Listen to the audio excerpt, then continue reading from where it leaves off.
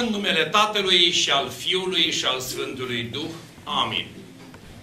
După o tradiție populară și bătrânească, se spune că atunci când întâlnești un om, un creștin, în dimineața zilei din 1 ianuarie, se spune bună dimineața la anul nou. Pentru dumneavoastră am să mă adresez cu următorul cuvânt. Sfinte Ierarhie Vasile, roagă-te lui Dumnezeu pentru noi. Deci, iată, chiar din prima zi a anului sărbătorim unul din cei mai mari sfinți pe care îi are Biserica, din cei trei erari, pe Vasile cel Mare și așa cum ați ascultat și la strană în câteva clipe, născut în secolul 3-4, deci 330-379, deci 49 de ani, dar un model absolut de erar ca și Sfântul Nicolae, ca și Sfântul Spiridon, născut dintr-o familie cu mulți copii, din care familie, din 10 persoane, 8 ajung sfinți. Și vorbim de Navgrate, făcătorul de minuni, vorbim de Emilia, bătrâna, mama lor, bunica lor Macrina, sora lor Macrina, vorbim de unul din uh, Petru, nu are care episcop prin Sevastia undeva, deci iarăși un, uh, unul din frați, dar în special Sfântul Vasile cel Mare se distinge prin săvârșirea sau pregătirea profesională a școlilor în locurile păgâne, unde învață geometrie, unde învață filozofie, retorică, unde învață știința astronomiei, tocmai de aceea este și numit vulturul teologiei sau vioara Duhului Sfânt, prin faptul că va lăsa cea mai la, pentru vremea respectivă. Astăzi să spunem că poate nu ar mai părea atât de cuprinzătoare la știința și tehnica pe care o avem. Dar la începutul secolului al III-lea, începutul secolului, sfârșitul secolului III, începutul secolului IV, vorbind de hexaimeron sau omilii la facere sau tâlcuirea facerii lumii în șase zile, Sfântul Vasile cel Mare este unul din cei mai mari filozofi duhovnicești. Se distinge întâi printr-o viață deosebită, și aici voi puncta doar atât, școală, biserică, iar unii care nu puteau să limită în trăirea personală, măcar își tundeau barba ca el, se îmbrăcau ca el, încercau să vorbească ca el, să meargă ca el, să se poarte ca el. Deci era un model de invidiat sau de urmat. Al doilea lucru care îl caracterizează pe Sfântul Vasile este disciplina personală ca și slujitor, ca și viețuitor în pustie, el excelează în aceste calități și apoi le pune în practică și atunci va alcătui, așa cum ați auzit din Sinaxar când a amintit, că a îndreptat unele strâmbătăți din viața monahală, adică a scris o carte care se numește Reguli mici și reguli mari. Sfântul Pahomie, când a întâlnit îngerul, pentru că monahismul acesta n-a apărut la întâmplare, mai auzi câte un creștin de ăsta de 100 de ani care vine și spune dar cine vă dă vouă să, voie să, de ce umblați cu părul lung? De ce faceți cu tare? De ce opriți de la carne? Este un citat a Sfântului Apostol Pavel care îl folosesc împotriva călugărilor. Monahismul are o rădăcină la începutul secolului III, prin marele eremit Antonie cel Mare și apoi prin marele începător a vieții de obște Pahomie cel Mare. Pahomie întâlnește un înger care îi spune, uite așa să se îmbrace călugărul, așa să se încingă călugărul, așa să poarte veșmintele pe el călugărul, așa să poarte gluga sau acea camilafcă care acum ai câteodată și un prilej de mândrie, că o faci cât mai mătăsoasă, mai elegantă, mai distinsă. La vremea respectivă era un ștergar negru pus în cap peste culion sau fesul călugăresc, care era o împletitură cum purtăm noi iarna pe sub batic când e frig, și se punea acel ștergar tocmai ca să nu te uiți în stânga și în dreapta, să-ți risipești privirea ce face ăla sau ăla sau să vorbești cu ăla și cu ăla. Adică, cum s-ar spune, să folosim un termen de astăzi, ochelarii de cal, trebuie să vezi în dreptul tău înainte. Uh, mai târziu, același înger, când îi dă îmbrăcămintea și îi arată Sfântului Pahomie și spune în acest chip va viețui călugărul, adică așa să fie îmbrăcămintea lui, îi și spune îngerul Sfântului Pahomie pentru cel mai voinic să ai o hrană mai corespunzătoare și o muncă mai puternică, pentru cel mai slăbuț să ai o hrană mai adecvată și o muncă mai ușoară, pentru că fiecare om este potrivit la locul lui. Și spune Sfântul Vasile cel Mare acea frumoasă expresie, am văzut trup slăbănogit și post de rupt sau stors de post și rugăciune, dar plin de patim. Și am văzut trup sănătos și minte sănătoasă. Trupurile se deosebesc unele de altele ca vreascul de fier. Și tot aici Sfânt Vasile cel Mare face acea frumoasă expresie și spune una e căsătoria, una e călugăria, alta e pustia. Fiecare în rândul cetei sale. Deci nu se poate îndelitnici creștinul de rând cu ale călugărului, dar nici călugărul nu se poate îndelitnici cu ale creștinului. Creștinul are alte libertăți și îngăduințe, călugărul are alte obligații și alte îndatoriri. De aceea trebuie să fim întotdeauna atenți, să nu confundăm cele două distinse căi de mântuire și nu putem noi în calitate de bețuitori pusnicești, numai pusnicești nu suntem, pentru că lumea este în mănăstire și mănăstirea în lume și contactul este reciproc în mod duhovnicesc, dar nu putem noi impune cuiva cât de mult să postească ci trebuie să o facă după puterea lui, cât de mult să se roage, trebuie să o facă după puterea lui, cât de mult să privegheze, trebuie să o facă după puterea lui, sau cât de mult să se ostenească. Ei, Sfântul Vasile cel Mare, în cartea aceasta, Reguli mici și reguli mari, pe care o puteți găsi și într-o bibliotecă pentru citirea culturii generale, se numește Vechile rânduieli monahale, o găsiți sub forma unui călugăr uh, copt cu chipul pe copertă și este închisă la culoare. V-am dat acest semn în ideea că v-ar interesa vreodată adâncimile vieții călugărești.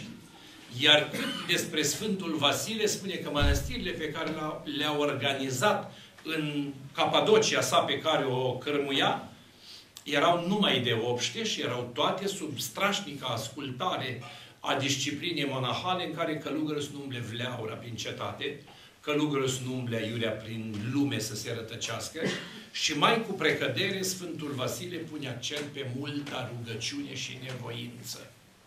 Sfântul Grigore, teologul, prietenul său, va trăi și el într-o mănăstire, unde, odată glumind unul către celălalt, el îi scrie lui Vasile, era și mai aspru în canoane, și că lasă-mă, Vasile, mă, că la tine și păsările postesc.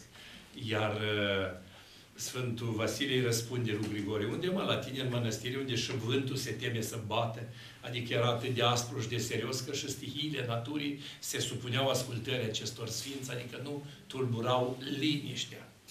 Sfântul Vasile se distinge și printr-un apărător foarte vehement al bisericii, așa cum ați auzit în timpul lui Valens, care era împărat apostat și apostazia aceasta consta în învățătura lui Are, care spunea că Isus e o creatură superioară, nu-i Fiul lui Dumnezeu, adică Dumnezeu adevărat din Dumnezeu adevărat, mai înainte de toți vecii și lumină din lumină, născut iar nu făcut, dogma din crez și mergem până la a despărțit de ofințimea Tatălui de Fiu și au îmboșbăie acolo în dogma Sfintei Trei. Bineînțeles că Sfântul Vasile are de lucru cu acești arieni și își demonstrează neputința lor printr-o minune pe care cred că an de an am repetat-o, acum doar o voi puncta. Luând arienii cu forța foarte multe biserici în Cezarea, au luat și așa zisa catedrală unde Sfântul Vasile își desfășura activitatea. Și Sfântul Vasile a spus, bă, nici o supărare, luați-o, dar vreau un lucru. Hai să o închidem cu lacăte și să ne rugăm. Vă rugați voi și dacă se deschide a voastră, ne rugăm noi și dacă se deschide a noastră și dacă nu se deschide, luați-o tot voi. Când au văzut că au două variante, au ales-o. Numai că, în schimb, când Sfântul Vasile a bătut cu crucea în ușa bisericii și a spus, a spus deschideți-vă voi, porți veșnice, să intre împăratul slavei, ușile s-au deschis singure, arienii și-au recunoscut neputința și l-au lăsat pe Sfânt și Biserica în pace. Aceeași amintire pe care ați auzit-o cei care ați prins acatistul pandelete de dimineață, trebuia să boteze pe un evreu Iosaf, și tocmai bă, Sfântul Vasile se săvârșește din viață. Ioasaf vine la mormântul Sfântului și spune, dar voi creștinii sunteți mincinoși? Păi nu mi-ai promis că să vin azi să mă botez? Și se scoală Sfântul Vasile din sicriu, se îmbracă în veșminte arherești, cam ciudat, dar e cam, e cam de fantastic. Îl botează pe Iosaf și casa lui, se pune înapoi în sicriu și adorme și merge în veșnicie. Deci iată ce putere dă Dumnezeu Sfinților Săi.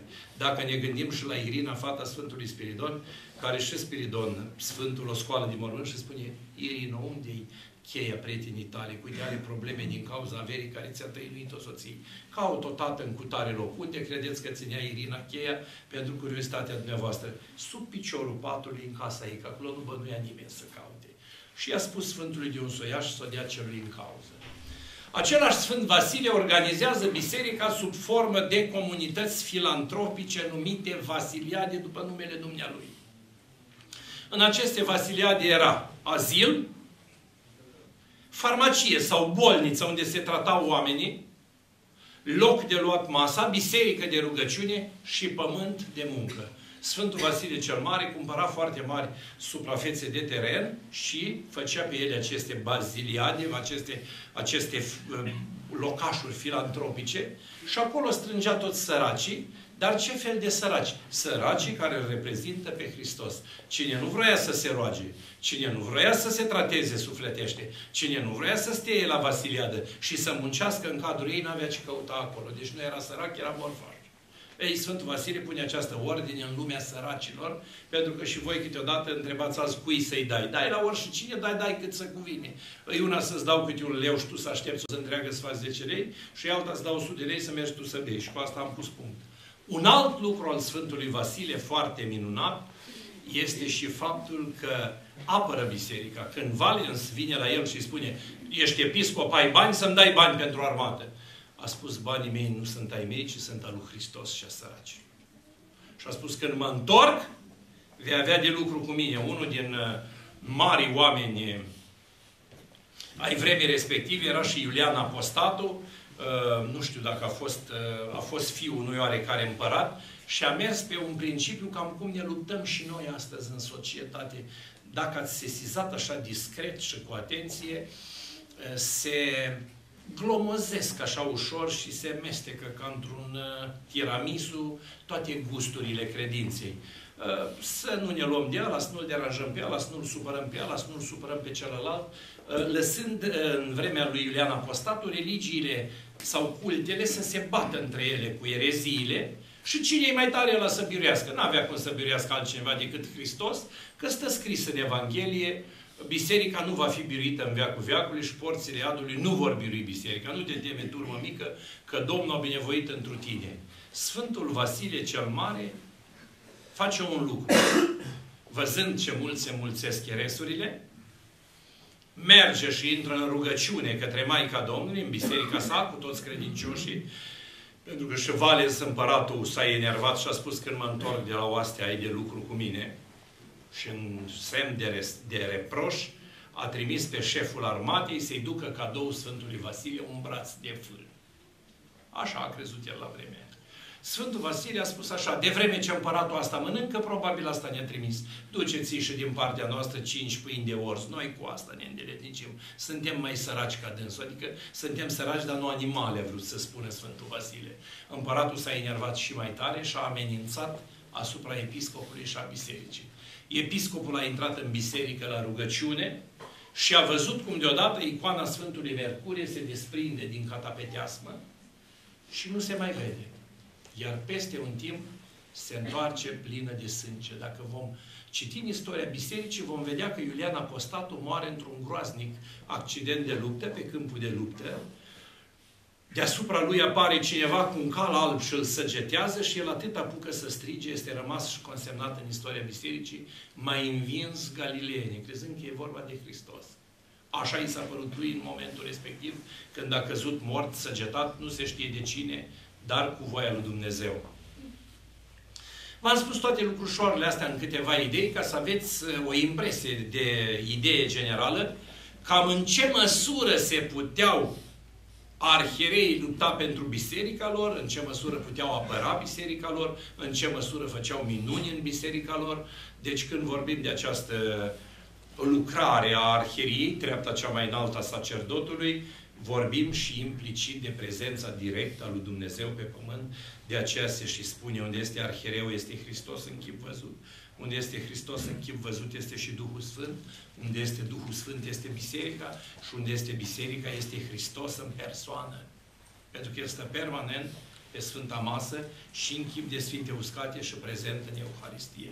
De aceea și Ciprian de Cartagina ne va spune că afară de biserică nu este mântuire. Nu că ar avea ceva cu celelalte culte, ci cei care au pierdut o parte din tezaurul acesta apostolic al învățăturii lui Hristos cuprins în cărțile Scripturii, cu mila și cu lucrarea lui Dumnezeu și cu bunăvoința credincioșilor, nu cu ostilitatea și răutatea lor, cu ambiția și cu orgoliu, cu jignirile și cu vorbele de clacă, să-i, re, să-i repudiem și să-i aruncăm, ci din contra să-i chemăm spre ortodoxie să vadă frumusețile ei, cele care trebuie văzute, nu cele care nu trebuie văzute, și să-L cunoască pe Dumnezeu cerului și al pământului.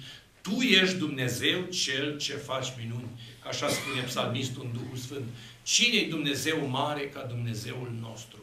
Tu ești Dumnezeu cel ce faci minuni. De praznicul tăierii împrejur, la fel de bine ați auzit și am spus și aseară, a fost prima mărturie că Hristos s-a născut cu trup, prima mărturie că și-a dat viața pentru păcatele lumii, a răscumpărat legea așa, primenit-o, ați văzut, s-a trecut dintr-o lege a tăierii trupești cu durere și cu sânge și cu jerfă, la o, la o tăiere împrejur sufletească, prin poruncă, prin lege, prin ascultare, prin supunere, prin dragoste, nu mă opresc asupra acestei idei decât a vă puncta că începând de la Avram, care îl aduce pe Isaac pe muntele Moria ca să-l jerfească, la implicitatea totală, dacă Dumnezeu mi-a dat un singur fiu și mi-l cere, știe El ce face, își pune lemnele pe măgară și ia fiul um, cu sarsanaua și pe el cu lemne și merg spre muntele More, unde astăzi este acea moschee de aur uh, cu cupola aurită, acolo este Domul Stâncii sau Piatra Stâncii, acolo a fost Sfânta Sfintelor în vremea templului lui Solomon și când să-l junghie, că pruncul întreabă, tată, dar unde e oaia jerfei?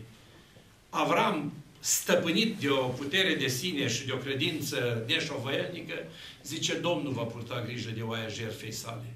Și, într-adevăr, în căturile de unde trebuia să-l jerfească, era agățat un berbec, pe care Dumnezeu spune, junghe berbecul, am văzut credința ta, lasă-l pe Isaac și Isaac va fi tata multor neamuri, așa cum vedem și astăzi că l-a născut pe Iacov, adică pe Israel de mai târziu, și cei 12 fii ai săi, cei 12 patriari, care au mers în ținutul lui Faraon, au stat acolo pe șapte ani de foamete și de secetă și apoi când s-au mulțit peste ani la moartea Faraonului bătrân, uh, care la vremea respectivă era, cred că, Faraonul împărat și apoi fiul său va ajunge la domnie, acesta îi urăște pe evrei și atunci are loc episodul cu trecerea prin Marea Roșie, cu Paștele Pascal, cu mielul, cu rătăcirea prin pustie, cu luarea tablelor din Sinai, apoi cu umblatul în jurul muntelui pentru îndărătnicia lor, că au schimbat asemănarea lui Dumnezeu în vițel ce mănâncă iarbă, și în cele de urmă trecerea Iordanului și cucerirea Erihonului, iar Moise, pentru îndoiala lui, rămâne în muntele Nebo, unde moare și îl ascunde îngerul și nu mai vede pământul făgăduinței, decât mai discută, mai discută pe tabor cu Ilie atunci când se vor întâlni cu Hristos la schimbare la față, punând la cale planul de mântuire a lumii. În această tăiere împrejur, care începe de la Avram și îi spune Dumnezeu, tot bărbatul de parte bărbătească să se taie împrejur pe altar de piatră cu cuțit de piatră. Și aceasta ține până la Hristos, care este ultimul care se va tăia împrejur pentru legea cea nouă, că nu mai era nevoie. Era deja tăierea împrejur duhovnicească și se încheie legea veche și începe legea nouă. Se pune pe cetea hotărâlnicii și terminarea acestei legi, care este mai mult formalistă sau de coregrafie, pentru că de la ce a spus Moise în 10 porunci până la ce au reușit să aducheii, farisei, cărturare, arhierei și învățătorii legii vechi, Iisus Hristos critică într-o Evanghelie și spune așa, vai vouă farisei fățarnici, puneți pe spinarea oamenilor poveri de tot felul, voi nu le urmați, nici cu degetul nu le ridicați, nici voi nu intrați, dar țineți cheile împărăției cerurilor și nici pe alții nu lăsați să intre foarte aspru. De aceea și Hristos mai îndrăznește și critică, pentru că poate pe undeva câteodată e valabil și până în zilele noastre, când spune acolo, mâncați casele săracilor și a vădurilor, vă rugați prin periferie, adică la vedere, pe unde sunt ulițe și târguri, ca lumea să vă vadă că sunteți credincioși. Trebuie să vă rugați să nascunzi Tatălui care nascunzi vede și vă și plătește, adică să nu avem o credință de suprafață, așa un fel de teatralitate, iar de fapt să fim niște snobi sau, da, snobi așa se cheamă în limba engleză, sau niște farisei în limba evrească. Această tăiere împrejur este botez al legii vechi și mărturie că oamenii sunt cu Dumnezeu. Găsim aceasta la construirea templului, când Solomon personal spune niciunul din meșterii templului care va lucra la acest edificiu dăruit lui Dumnezeu timp de 40 de ani, să nu cumva să-i lipsească tăierea împrejur, adică să nu spurce lucrarea Domnului. Așa cum spunem și noi astăzi în creștinism, băi, nu care cumva să te, să te încurci dacă nu-i botezat. Adică ne ferim să avem nași nebotezați, uh, fini nebotezați, nași de cununie nebotezați, nași de botez nebotezați. Deci trebuie să respectăm legea și ceea ce este scris în lege, că Moise a spus lucrul ăsta, dintre voi, ca și mine proroc să va, va ridica și voi trebuie să-L urmați. Era vorba de Hristos. La început de an, ca să nu vă obosesc, că sigur încă poate sunteți sub influența unui pahar de șampanie sau oboseli, poate de la masa festivă sau poate sub influența că ați mai stat și v-ați uitat și la televizor, mi-a plăcut evoluția culturală a societății culturale moderne, să dai la televizor emisiuni din timpul lui Ceaușescu și să critici comunismul, nu prea merge. Adică au arătat încă o dată că cultura în România e la prășit, nu la strălucit.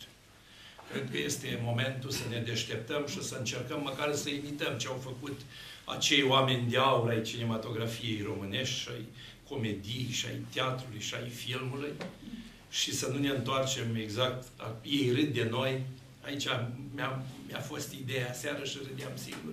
Ei râd de noi că pupăm moaște, dar ei, ei pupă cultura comunistă pentru că n-aveau cu ce umple spațiu și dădeau din arhive, de parcă actorii de azi sunt țepe sau paralizați și nu știu să facă glume sau scenete sau eseuri bune.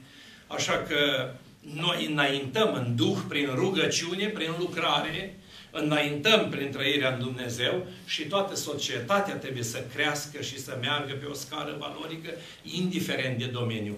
De aia vrem să avem infrastructura bună, de aia vrem să avem o credință sănătoasă, de aia vrem să avem o societate sănătoasă, o politică sănătoasă, conducători sănătoși la cap și cu mentalități sănătoase. Și e bine pentru anul acesta să vă orientați să căutați să cultivați esența binelui și o să mă întrebați ce este esența binelui. Esența binelui nu este mai binele, ci este binele adeverit. Sfântul Ioan Damaschinu ne spune o vorbă foarte mare. Binele nu este bine dacă nu-i făcut bine. Să încercăm în acest an să plecăm de la această deviză. Să nu urmărim decât binele făcut perfect. Aș vrea pe cei ce poartă numele de Vasile și Vasilica și toate celelalte mărunțișuri frumoase ale acestor două nume, să le zic sănătate duhovnicească și trupească, mulți ani duhovnicești și trupești, petrecere frumoasă și în continuare în sânul familiei, cu copiii lângă dumneavoastră, să vă simțiți excelent și frumos și sufletește și trupește, să dăm slavă lui Dumnezeu prin a aprinde o candelă, prin a ne împărtăși, cum s-a făcut și astă noapte la liturghia de noapte, să urmăm lui Hristos cu credință și cu destoinicie și să avem o credință discretă, frumoasă și curată, nu afișată și exprimată, că nu folosește la nimic, să fim cât se poate de decent, să creadă lumea. Ăsta nu o fi creștin, că e prea cu minte, nu să faci tu gesturi, să te cunoască el că ești creștin. Și aș mai putea încheia prin a vă spune că orice început are un început și se spune în sport, întâi un proverb popular, cruță sacul de sus, dacă vrei să fii bogat, asta în domeniul economic, iar în sport spune așa, ai grijă cum iei startul. Startul e jumate din medale pe care o poți câștiga.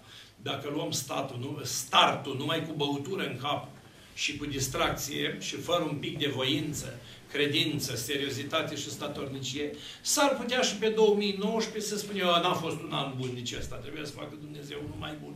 Cu șase anotimpuri, cu vreo patru sori pe cer, cu vreo două luni pe noapte, să strălucească pe boltă și poate cu mai multe ori în 24 să avem și când dormi, și când trândăvi, și când munci. Să chivernisim timpul așa cum ne l-a dat Dumnezeu și să arătăm că suntem fii a împăratului timpului. El a bulversat clepsidra universală a timpului prin nașterea lui și am făcut două iere, noi să bulversăm clepsidra timpului, făcând în scurt timp ceea ce l-am făcut, poate, în 30 de ani cât trebuia să facem. Amin, la mulți ani și Doamne ajută!